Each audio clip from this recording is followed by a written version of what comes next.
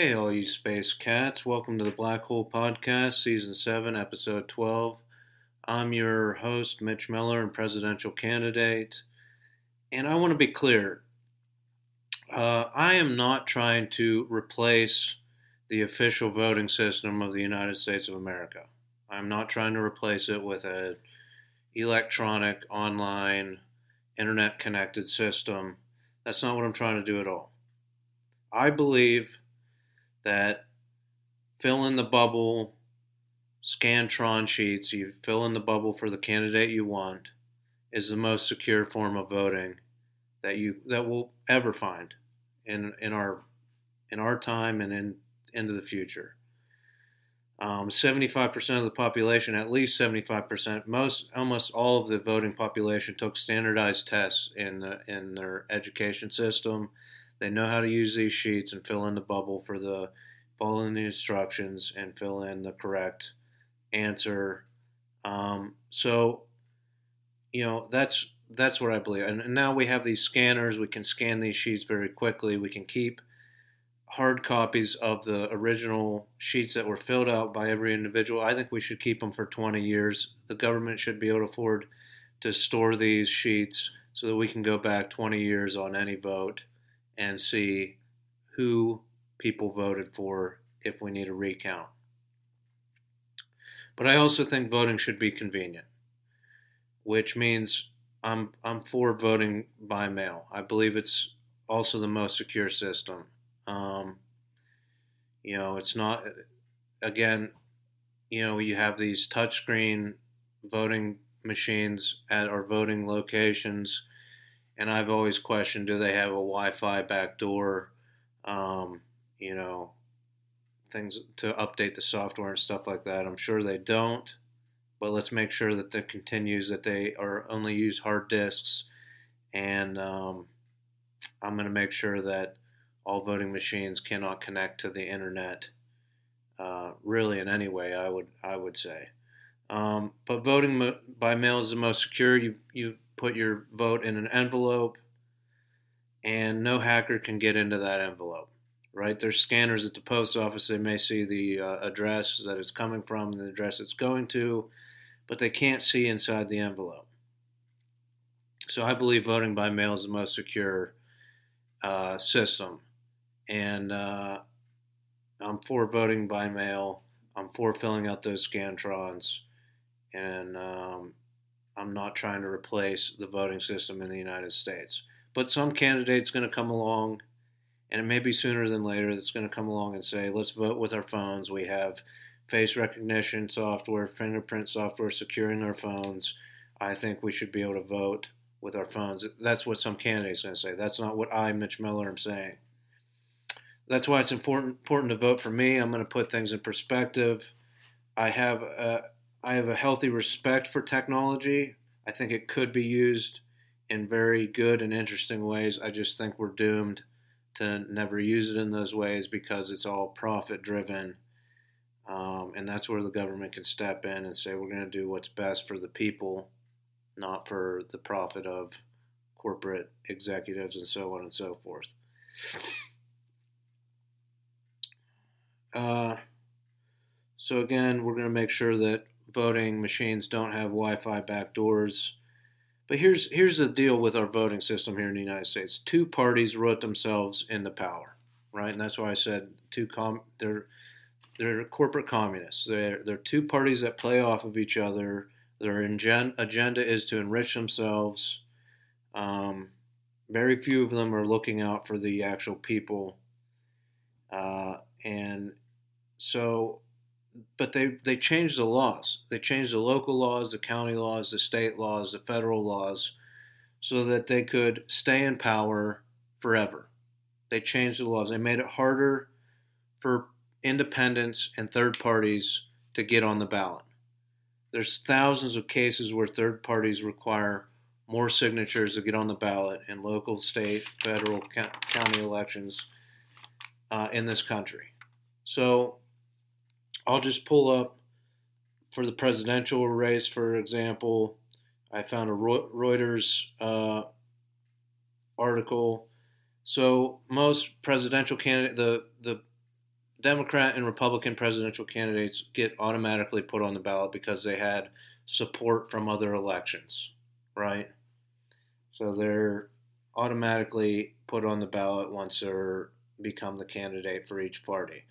But uh, so in California, to qualify as a minor party, an organization must collect 75,000 signatures from residents who are willing to switch parties or register for the first time.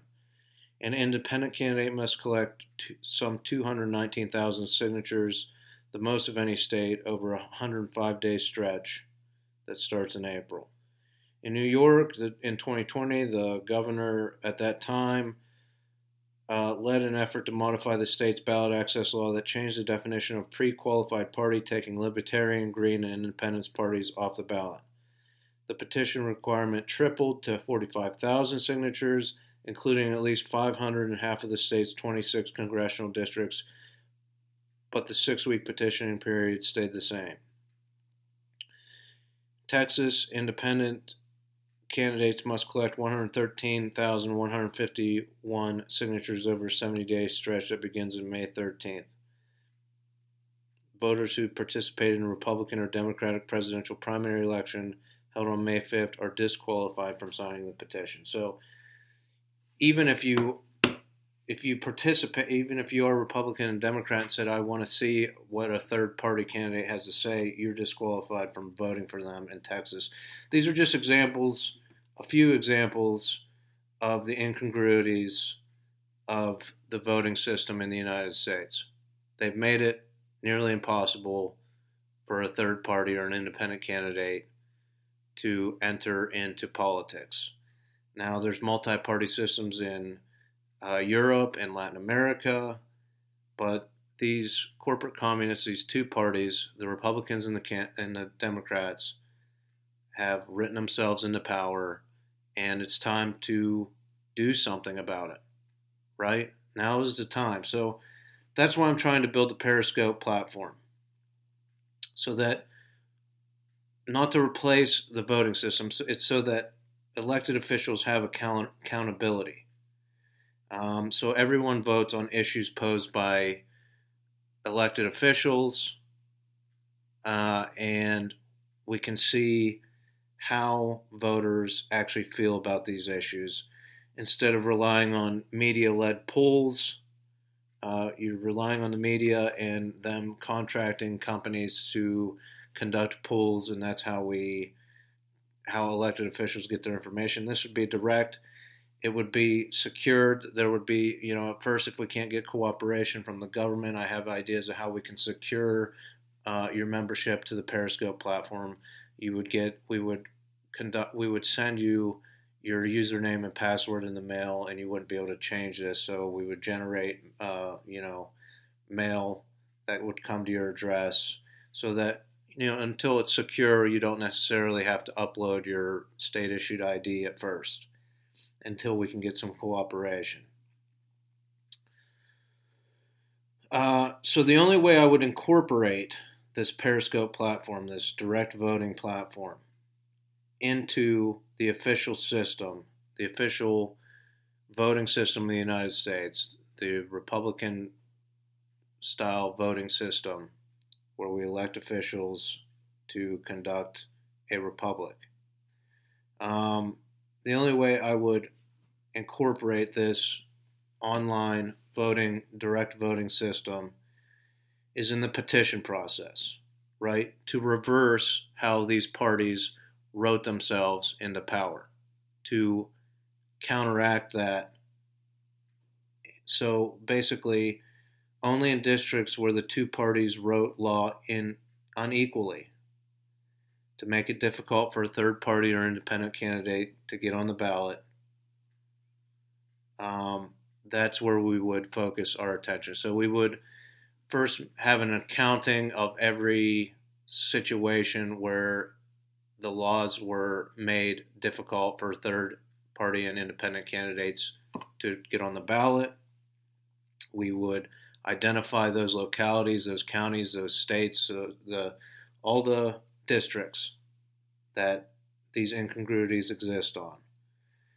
And then we would focus on making the petition process through the Perroscope platform so that, uh, look, if these two parties don't want to adopt this system in into the official voting system, then they simply change the laws back to the way they were when the Constitution was written, where it was easy for a multi-party system for third parties, independent parties. There weren't two just two parties necessarily. It's our Constitution wasn't written that way. They changed the state constitutions to make it difficult for third party and independent candidates. Um, so that's where we would focus, right? We'd go district by district and say, hey, we want to incorporate this for the petition process. Um, you can keep your incongruities, but we want to adopt this as a way for petitioning, and we would uh, petition the courts and the local and county governments to allow us to do that. Look, if they don't want to do that, if they don't want to incorporate technology into the voting process whatsoever, then simply change the laws back and we'll continue to, uh, roll out paper petitions and knock on people's doors to get third party and independent candidates on the ballot. But Republicans and Democrats should have to get the exact same amount of signatures. It should be equal across the board. Uh, so, building this Perroscope platform where we can have a popular vote on the presidential candidate, the vice president, the the Secretary of State and the Secretary of the Treasury. It allows us to say, hey, here's who we would vote for if the stakes weren't so high, right? We don't want to be stuck with Biden for four years, or we don't want to be stuck with Trump for four years. So we voted for them because we didn't essentially trust enough people to vote for Mitch Miller as president of the United States. And we were worried it would take votes away from them so we voted the same party lines that we always have. If we build this platform, we'll be able, even if Trump is elected or Biden is reelected, we can say, look, if the stakes weren't so high, we, we did a mock vote of the popular vote in this country, and 62% of the popular vote voted for Mitch Miller. Um, if the hypothetical was that we, one of these two candidates wouldn't be in power for four years, right? So 62% of the popular vote voted for Mitch. Um, and they these candidates, when they're elected or reelected, would have to pay attention and enact the programs that I've proposed on this podcast so far. Right? And other programs that I have just floating around in my head that I can pose out there, I can put as a issue up for vote on the platform, and you can say, yeah, I think that's a good idea, or no, that doesn't make sense. So to make things equal as a candidate, right? Both of these candidates are one-term candidates. Biden, Trump, they can only serve one term according to the Constitution. Um, so, look, I'm willing to be a single term president if people vote on the platform that they don't want me to run for a second term, I won't run. And and that's how you get participation in this platform, right? At first, it's going to be the supporters that join the platform and say, well, "We would vote for you," you know. Um, but once you start saying, "Hey, here's an opportunity to tell someone they're doing a bad job, and that we don't want you to run for a second term," you're going to get the rest of the population to engage in the platform and then we'll have a real, uh, real view of the popular vote in this country.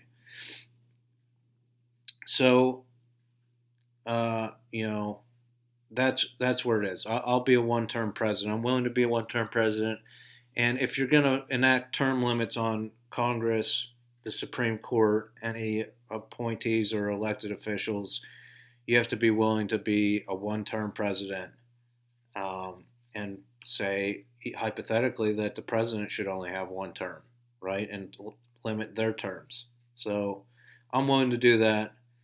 Um, I just want to close on talking about corporations.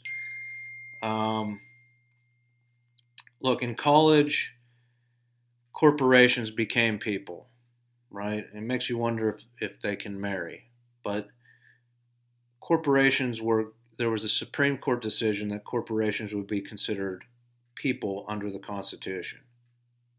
And I think this is still upheld. Now, they would enjoy, these corporations enjoy the protections of a person under the Constitution. So here's my question why can't we make them say, pay the same tax rate as a person, right? Instead of a separate corporate tax rate, any any profit. Anyhow so look why can't we make them pay the same tax rate as a as a person? Anything over whatever the thresholds are. I, I didn't look it up today but anything over you know $20,000 is a 20% rate and so on and so forth up to 45% rate, right? Anything over 200,000 is 45%. Why can't we make these corporations if they're going to enjoy the protections of a person, why can't we make them pay the same tax rate? I think we can. That's what I'll do as president. Um, otherwise, they have to give up uh, their protections, right? If you want to be protected as a person, you pay the same tax rate as a person. Otherwise, you're not going to enjoy the same protections granted to you by the Constitution as a person. So I just look, corporations aren't people. Corporations are gangs of executives who hide behind the law so that, so that they can't be held liable for any of their decisions. So I don't think they should enjoy the protections granted to a human being under the Constitution. But uh, maybe that's changed. I, I haven't kept up with that particular Supreme Court decision. If it is still in effect, then I think they should pay the tax rate that a person pays. All right. Uh, so you know, if you want to see other programs and ideas I have, uh, check out my websites, mitchformayor.com. That's Mitch the number four mayor.com, plotm.com, trafnet.org, and almavoter.com. Thanks for listening, and until next time, I wish you peace, prosperity, and homeostasis.